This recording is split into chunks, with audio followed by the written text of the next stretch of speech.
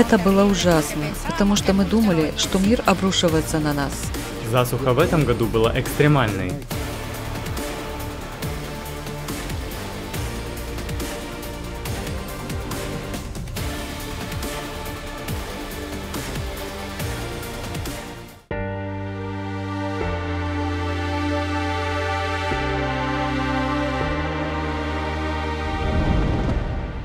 Продолжая серию выпусков о засухе, поговорим о ее последствиях для некоторых стран Южной Америки.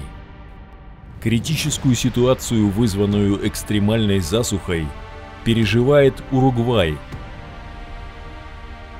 С начала 2023 года количество выпавших в стране осадков оказалось самым низким за последние несколько десятилетий уже с начала февраля был введен запрет на использование питьевой воды для неприоритетных целей.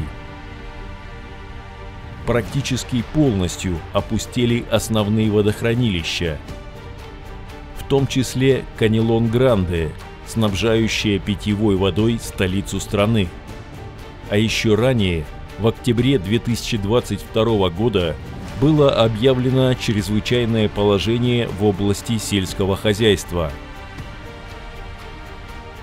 Животноводство, рыболовство и сельское хозяйство терпят самые большие убытки за последние 40 лет, что, естественно, очень сильно сказывается на жизни людей. В 2023 году Продолжительная засуха в соседней Аргентине, от которой страна страдает уже несколько лет, стала поистине катастрофической. По состоянию на середину марта отсутствие дождей в течение длительного времени привело к огромным финансовым потерям из-за гибели урожая многих культур и падежа скота. Площадь земель, пострадавших от засухи, составляет 172,5 миллиона гектаров, что почти равно сумме площадей таких стран, как Перу, Эквадор и Парагвай вместе взятых. Еще одно сопоставление. Эта площадь более чем в три раза превышает территорию Испании. Аргентина – является одним из крупнейших поставщиков хлопка, сои, кукурузы, говядины во всем мире. Засуха и неурожай в стране могут негативно отразиться на продовольственном рынке по всему миру.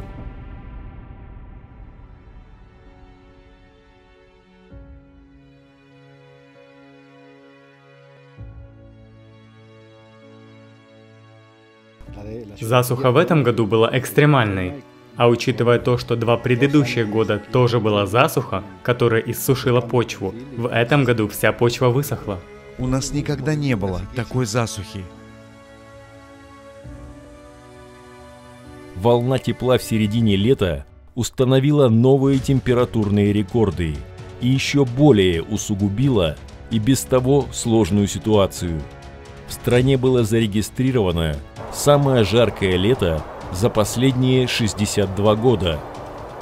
По данным Национальной метеорологической службы страны, температура в течение первых 10 дней марта была на 8-10 градусов по Цельсию выше нормы в восточно-центральной части страны.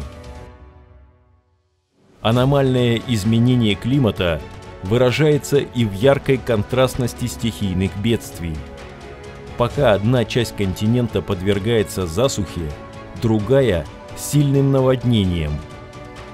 22 и 23 марта в связи с обильными осадками, которые совпали с высоким уровнем прилива, в прибрежном городе Гуаякиль, Эквадор, произошел сильный потоп. По меньшей мере 13 районов остались без электроэнергии а движение транспорта было полностью остановлено из-за скопления воды. Матрасы, мебель, как сказала бы моя бабушка, да упокоится она с миром. Мы без Бога и без Святой Марии. Это была река, это не улица. Обратите внимание на то, что вы видите сейчас, все отложения, которые принесла с собой земля. Это было ужасно, потому что мы думали, что мир обрушивается на нас. И в тот момент я сказала, вот до чего мы дошли, потому что дождь продолжался, и вода продолжала подниматься.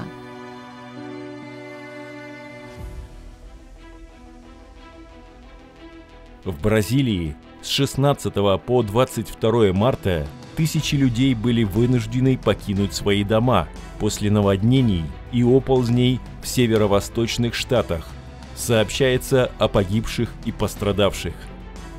В нескольких муниципалитетах штатов Сиара, Мараньян и Пара было объявлено чрезвычайное положение. Планета разрушается прямо на наших глазах, и бездействие может привести к гибели всего живого на ней. 12 ноября 2022 года была озвучена дата конца. Данная математическая модель говорит о том, что если процесс разрушения будет протекать достаточно медленно и не будет никаких провоцирующих факторов на ускорение, то все, о чем мы говорим, произойдет в октябре 2036 года. Мы просчитали разные варианты развития событий и пришли к выводу, что в любом, даже самом мягком варианте прохождения нынешнего цикла все человечество погибнет. Только вдумайтесь в вашей комфортной семейной жизни, вашему бизнесу, вашим планам. Через 6 лет конец. А в 2036 году конец всему человечеству. Прошло немного времени, всего полгода. Но посмотрите, что сделал климатический Цербер с нашим миром за это короткое время.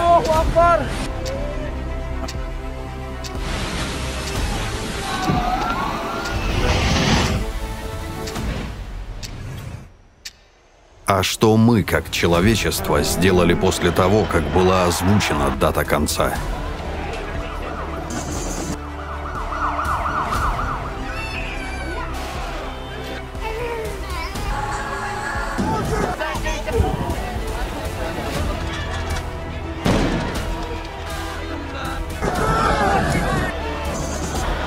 Как видите, мы как общество в целом продолжили существовать в потребительском формате.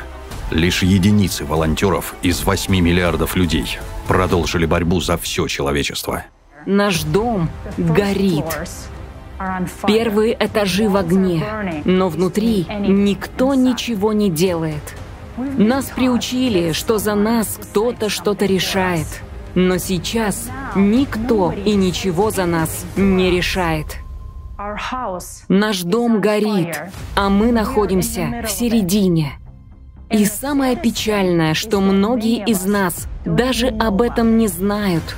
До 12 ноября 2022 года человечество жило в незнании о своем будущем. Сейчас ситуация изменилась. Это факт, с которым мы живем уже более 10 лет. А с сегодняшнего дня с этим придется жить и вам. Да, теперь ответственность на каждом, кто знает это. В том числе и на тебе.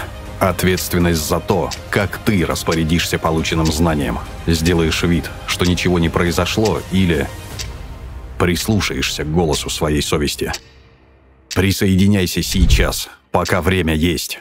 Мы еще можем что-то изменить. Пока мы можем говорить, мы будем говорить и нести правду. 22 апреля 2023 года Международный онлайн-форум «Глобальный кризис». Выход есть. С синхронным переводом на 150 языков мира. Донеси эту правду до всех. Сейчас твое время действовать.